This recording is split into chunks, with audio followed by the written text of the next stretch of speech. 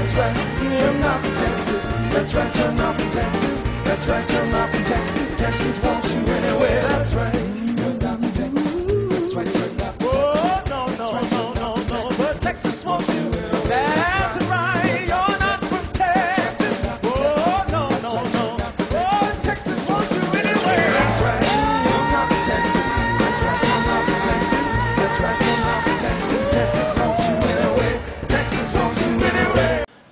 Everybody. This is part number nine of my 2011 College Football Big 12 preview. And yes, we're going to talk about those Texas Longhorns.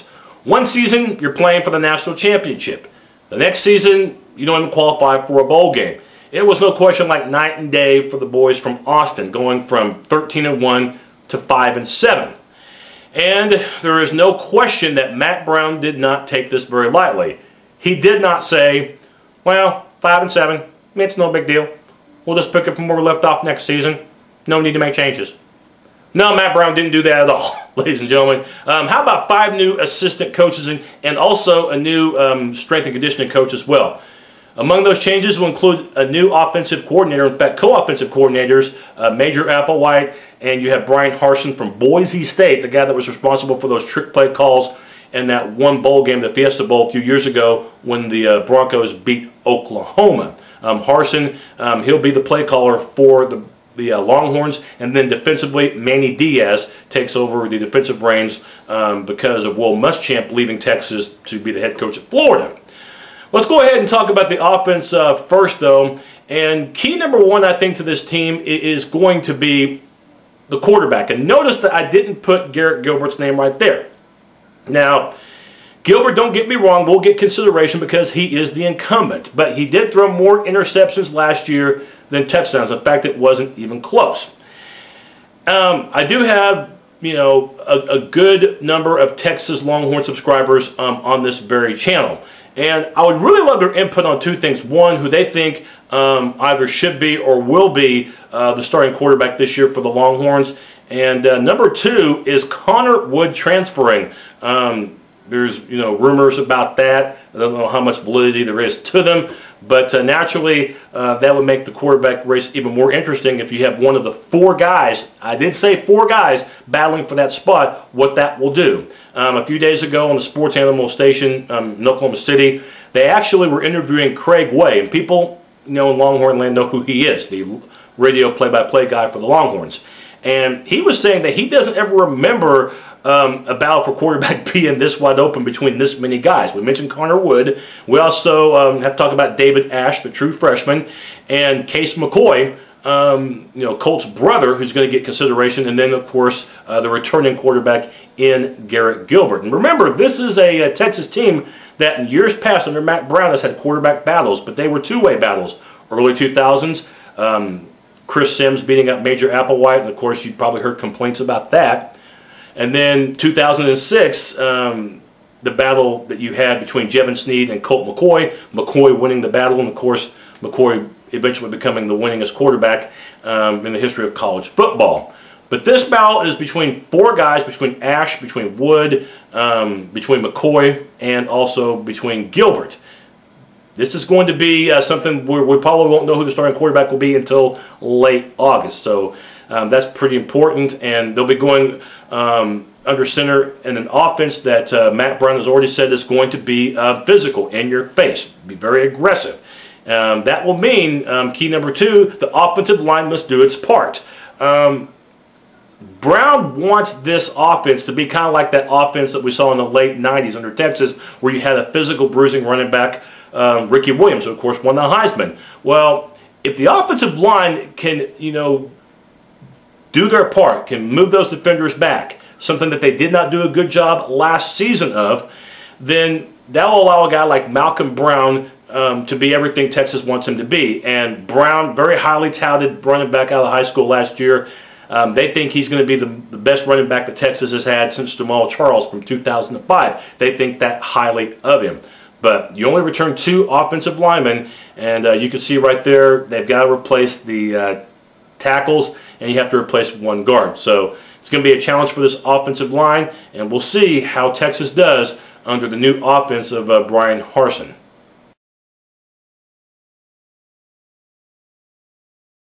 Okay, now time to talk about the receivers for the Longhorns, and I have mixed reviews because on one hand, um, they lose um, a couple of good ones in their leading receiver, James Kirkendoll, and also Marquise Goodwin, who's decided to put um, football on hold this year to focus on uh, track and field. Uh, he's one of those um, athletes that uh, could do pretty good at the World Championships and could also qualify for the Olympics next year. So football, he's using this year as a redshirt year. Um, but you do have Mike Davis back and also uh, Malcolm Williams. Williams, I think, could be the number one guy um, in the rotation. And uh, don't be surprised if Jaxon Shipley is in the mix as well. And yes, he is the uh, younger brother of uh, Jordan Shipley. Jaxon, just like Jordan, had one heck of a uh, high school career. And of course, we all know what Jordan did on the collegiate level. Ask Oklahoma how good Jordan Shipley was. So his younger brother Jaxon could be in that rotation as well for the Longhorn offense. Now, defensively, the Longhorns last year, they were on the field a lot, much in part thanks to that offense not being productive. Defensively, they actually did not do um, too shabby of a job. Um, defensive line was a reason, I think, why, and um, they returned most of those players. They do lose Sam Acho, and they uh, also lose Eddie Jones, but returning, you've got uh, the ends. You've got Alex Okafor, a good one, and also a guy who plays a true freshman last year, Jackson Jeffcoat. He's back, and Kheeston Randall, one heck of a nose tackle. I think I've seen him on some first team All Big 12 selections already. Um, I expect him to have a good year for the Horns.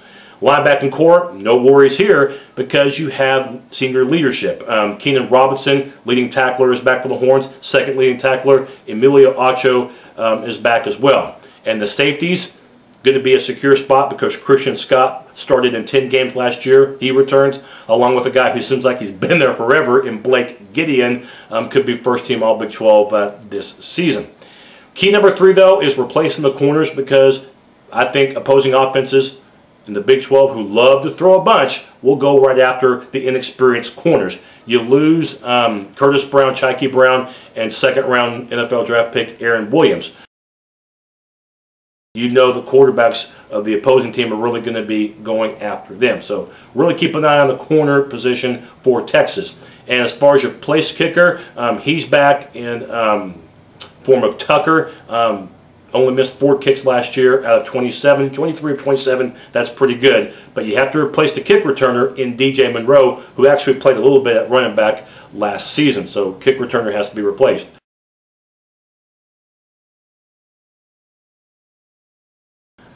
Looking at the schedule for the Longhorns, um, they play a couple of name-recognized teams before they even enter Big 12 play. New independent BYU comes to Austin, and the following week you play at UCLA in what has to be a revenge game for the Longhorns. We'll talk about that matchup in a second.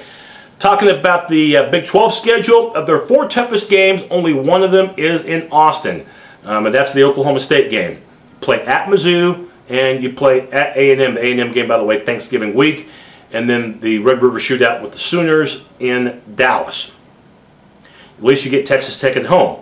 Now, one of my um, Longhorn subscribers, uh, Johnny Reb, a couple weeks ago predicted that uh, Texas this season would be something like 8 and 4, and pretty much I agree with him.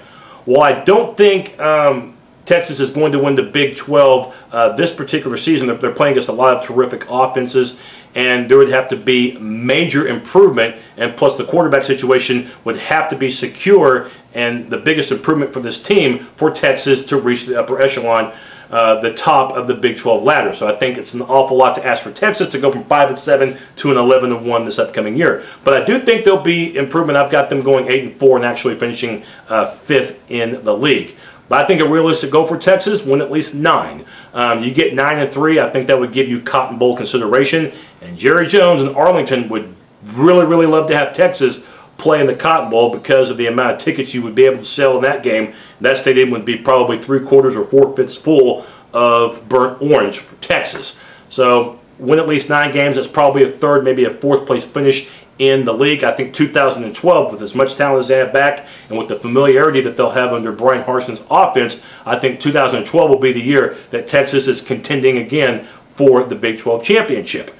If you look at a game to talk about, it's UCLA because this was the game that last season was the first of seven defeats for the Longhorns, and it exploited Texas somewhat as far as not being able to contain the run. So if you can win this game, you could enter Big 12 play with a lot of confidence, assuming also that you can um, survive BYU at home in mid-September.